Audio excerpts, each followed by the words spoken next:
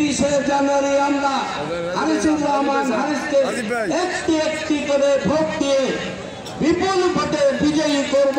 সকালবেলা আটটা বাজার পূর্বে ভোট কেন্দ্রে প্রবেশ করে ভোট দিয়ে ভোট গণনা শেষ হওয়া পর্যন্ত নৌকার বিজয় নিশ্চিত করে তারপর আপনারা যার যার বাড়িতে ফিরবেন।